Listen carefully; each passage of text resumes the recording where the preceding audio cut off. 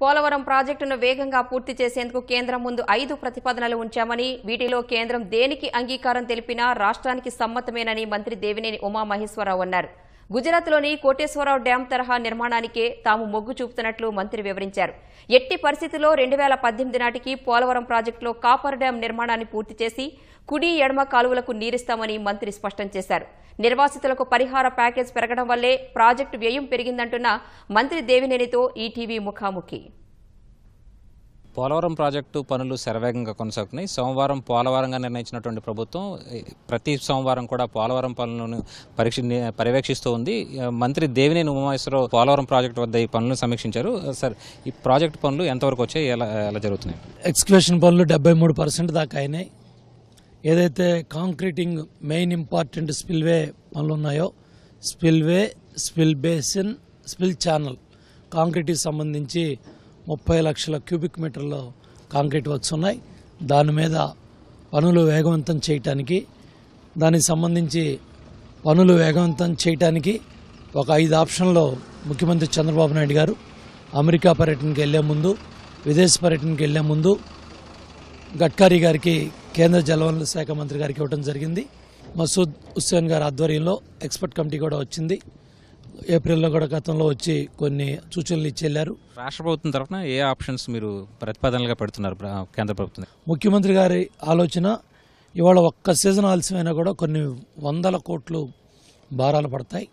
కాబట్టి పనులు వేగవంతం చేయడానికి ఏ విధంగా ఉన్న పరిస్థితులు వాస్తవ పరిస్థితులు గత మూడు సంవత్సరాలుగా ఈ స్థితికి రావటానికి ఈ రియల్ పొజిషన్ రావడానికి ఈ వాస్తవ స్థితికి రావడానికి ఉన్న ఇబ్బందులు కానీ అధిగమించినవి కానీ అన్నీ కూడా కమిటీ దృష్టికి పెట్టాం. సో ఉన్నదాన్ని ఏ విధంగా ఎట్లా ముందుకెళ్ళాలి కోటేశ్వర మోడల్లో ఏ విధంగా చేస్తూ ఉన్నారు లేకపోతే సెంట్రల్ ఏజెన్సీస్ సిపిడబ్ల్యూ స్కీమ్స్లో ఏ రేట్లు ఉన్నాయి ఏ విధంగా పనులు వేగవంతం చేయడానికి ఒకటి రెండు మూడు నాలుగు ఐదులో ఈ ఆప్షన్స్ అన్నీ కూడా ఎక్స్పర్ట్ కమిటీ మా శాఖ అధికారులు డిస్కస్ చేస్తున్నారు. వీరు ఢిల్లీ వెళ్ళే ముందు వన్ ఆర్ టూ ఆప్షన్స్కి డెరైవ్ అవుతారు. దాన్ని గడ్కరీ గారు ఒక నిర్ణయం. పోలవరం ప్రాజెక్ట్ అథారిటీ నిర్ణయాలు కేంద్ర జలవనరుల శాఖ మంత్రి నిర్ణయాలు అన్నీ కూడా ఉంటాయి. ముఖ్యమంత్రి గారు కూడా ఇరవై ఏడుకి రాష్ట్రానికి తిరిగి వస్తారు. దాని తర్వాత పన్నులు వేగవంతం చేయడానికి తీసుకునే నిర్ణయాలను బట్టి మేము వేగవంతంగా ముందుకెళ్తాం. ఈ ప్రతిపాదనలు సమర్పించడం అంటే కాంట్రాక్ట్ని మార్చడమేనా? మీరు అంటే ఇక్కడ కాంట్రాక్ట్ను మార్చడం ఉంచడం అనేది కాదండి. ఉన్న పనులు వేగవంతం చేయటానికి part of the work tender call చేసి ప్రజెంట్ రేటు డెరైవ్ అవటమా లేకపోతే ఉన్న సిస్టమ్స్లో ఏజెన్సీలో జరుగుతున్న రేట్లు బట్టి ఇది అవటమా? లేకపోతే కోటేశ్వర మోడల్లో తీసుకున్న పద్ధతిలో ఫాలో అవటమా? ఇట్లా రకరకాల ఆప్షన్స్ని ఇంజనీర్స్ ఇచ్చారు. దాన్ని కూడా పోలవరం ప్రాజెక్ట్ అథారిటీ ఆలోచిస్తూ ఉంది పరిశీలిస్తూ ఉంది.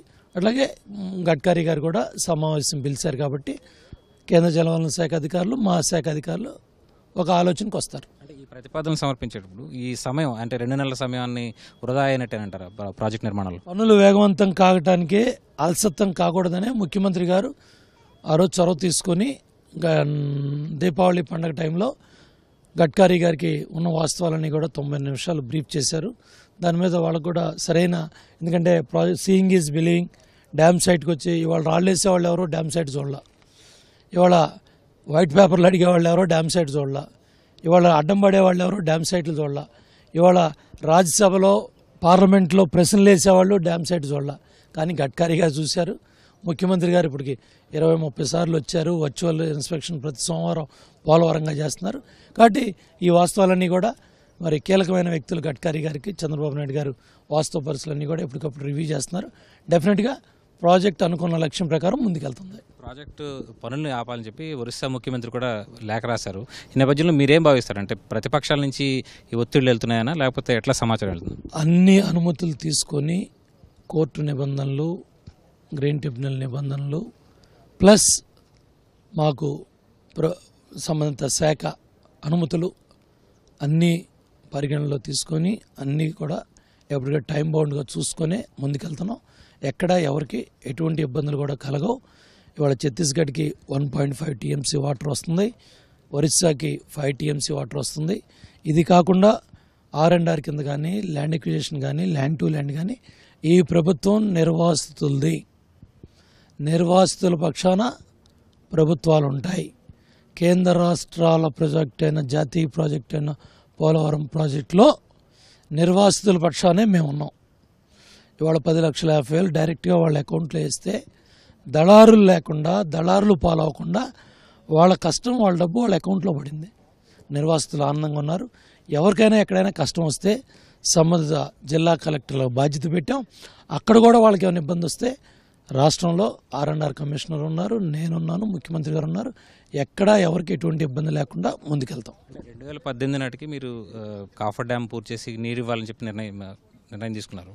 ఆ విధంగా పనులు జరుగుతున్నాయంటారా? ఆ దిశగా ముందుకెళ్తున్నాం.